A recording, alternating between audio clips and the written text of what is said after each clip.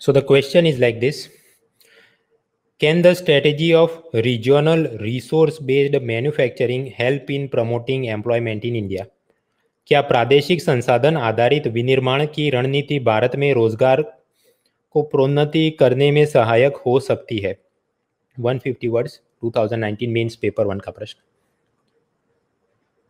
Resource के बारे में पूछा गया हो तो 2015-16 में कुछ ऐसा था कि वाटर के बारे में पूछते थे और हिमालय का पूरा रिसोर्स एक्सप्लोइटेशन तो एनवायरमेंट एंगल ज़्यादा था।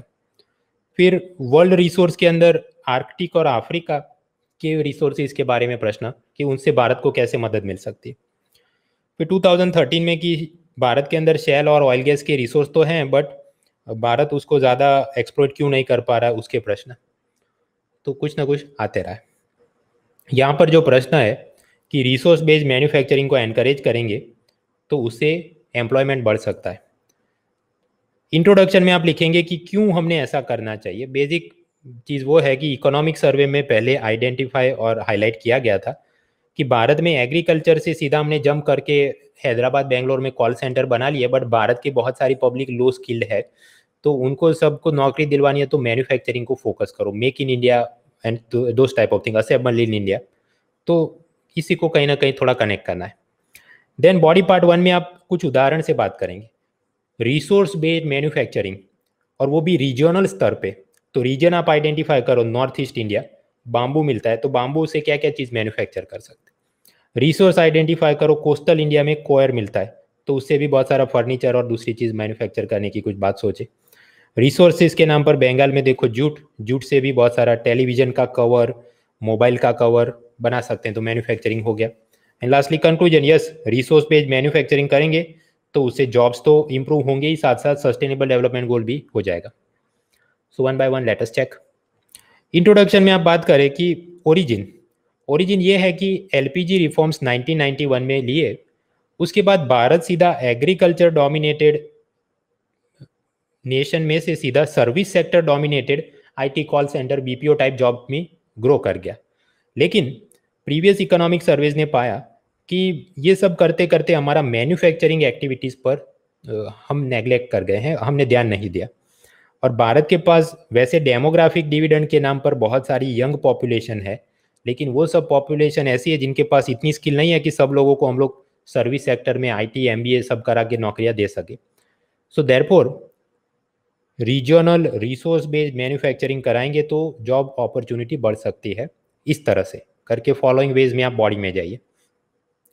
Body part one bamboo bamboo north east India के अंदर so we find that Bharat के अंदर पूरे विश्व के थर्टी परसेंट बाम्बू का रिसोर्स है। लेकिन ग्लोबल मार्केट में बाम्बू प्रोडक्ट भारत के हार्डली फोर परसेंट जाते हैं। ये भी डेटा ऐसा नहीं कि आपने याद रखना है, क्योंकि ये डेयरी की बात चल रही हो या कुछ और तो याद कर सकते हैं। तो हर एक चीज़ का बहुत करने का तो कॉस्ट बेनिफिट अच्छा है। But I given this data ये योजना कुरुक्षेत्र में से मिल जाता है। खैर तो बाम्बू इंडस्ट्री कौन कौन सी बन सकती है? Mobile cover, toothpick, pen stand, furniture, coffin, broom, tea coaster keychain photo frame hanger ashtray ladder CD even water bottle के कवर से लेकर बहुत सारी चीज़ बना सकते हैं बाम्बू से। त्रिपुरा के अंदर एक अनुमान है कि बाम्बू सेक्टर की मदद से बीस हज़ार लोगों को नौकरी मिल सकती है। और त्रिपुरा जितना स्टेट है, उस हिसाब से बीस हज़ार मतलब बहुत बड़ा नंबर है उनके लिए। So yes if you develop this it can help in job creation तो ये क्या है? रिसोर्स है पर्टिकुलर रीजन में और उससे जॉब्स बना सकते हैं। Body part two coastal area मतलब रीजन है। वहाँ पर रिसोर्स क्या है? कोयर मतलब ये कोकोनट से वो जो छिलके मिलते हैं और उससे मैन्युफैक्चरिंग और उससे जॉब के अवकाश है कि नहीं? यस तमिलनाडु, केरला, आंध्र प्रदेश, कर्नाटक, महाराष्ट्र, गोवा, ओडिशा, यहाँ पर हम लोग कोयर इंडस्ट्री पाते हैं क्योंकि कोस्टल एरिया है कोकोनट हस्क मिल जाते उसके छिलके।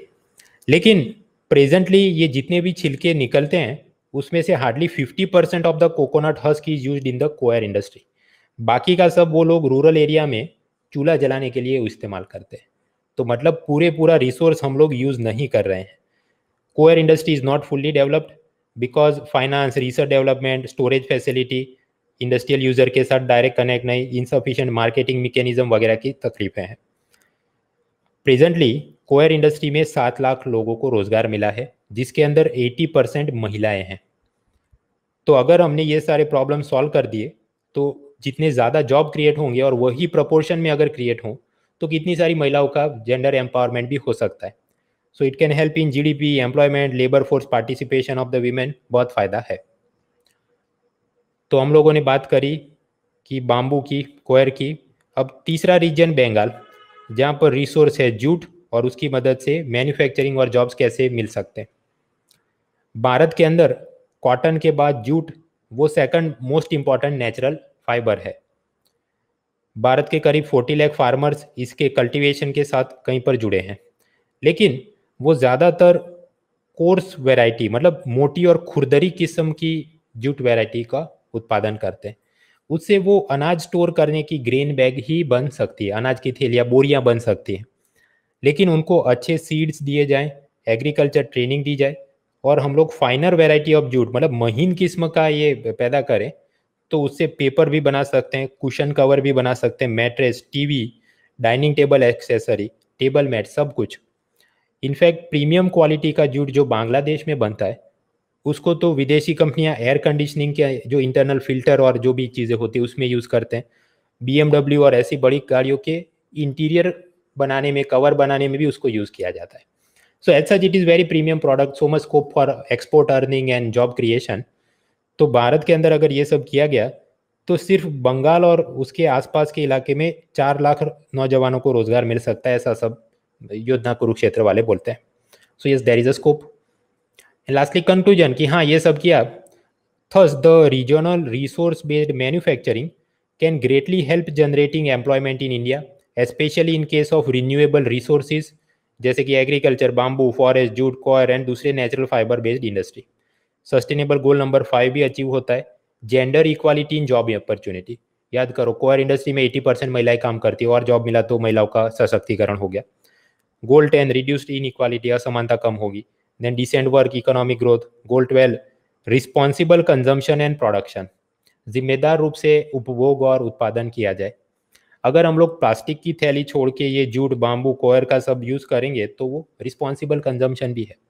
So these are the benefit and so we can encourage them we should encourage them ये प्रश्न में लोग मिस्टेक क्या कर सकते हैं? डायरेक्टिव वर्ड क्या है? Can regional resource based manufacturing increase the jobs क्या हो सकता है? तो लॉजिकल स्ट्रक्चर में आपने जवाब अंत में क्या लाना है? यस हो सकता है। या बोल दो, ना, नहीं हो सकता है।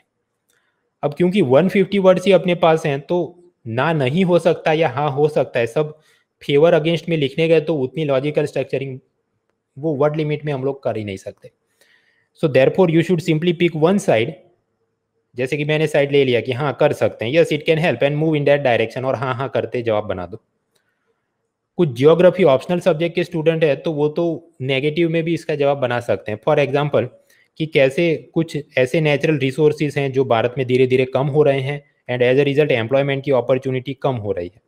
या फिर कि जो बंगाल का प्रदेश भारत के तरफ़ है, वहाँ पर वो जो सॉइल और वाटर क्वालिटी अनसूटेबल है तो वहाँ पर फाइनर जूट वेराइटी बन नहीं सकती, जैसा कि बांग्लादेश के पास जो एकदम फर्टाइल लैंड और अच्छे वाटर के सारे रिसोर्सेज चले गए। लेकिन जनरल स्टडीज़ के स्टूडेंट के पास इतना अपेक्षित नहीं कि वो इतनी पीएचडी और एनालिसिस करके दिखाए, और वो भी 150 वर्ड्स के अंदर। तो वो सब में हमने जाना नहीं, सब हो सकता है हाइपोथेटिकली हाँ हाँ करके लिख सकते हैं। एग्ज़ाम्पल देना बहुत ज़रूरी है जूट कोयर बाम्बू हवाबाजी में काम नहीं चलेगा। लेकिन साथ ही साथ इसके बहुत सारे लॉन्ग लिस्ट ऑफ़ प्रोडक्ट की बाम्बू में से ये पच्चीस जात की चीज़ बन सकती है तो long list is not required चार पाँच बड़ी चीज़ के नाम लिखिए। एनवायरमेंट बेनिफिट वो मैंने लास्टली कंक्लूजन में लिखा, वो तो वहाँ तक ठीक है।